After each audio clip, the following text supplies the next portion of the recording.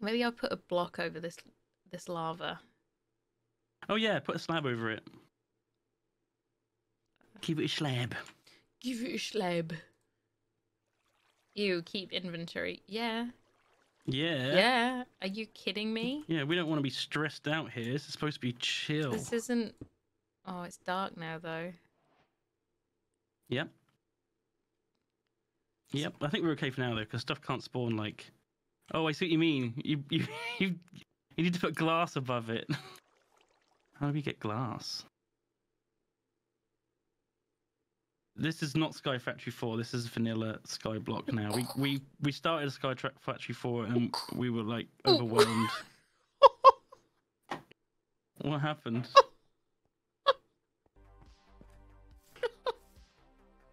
Oh no!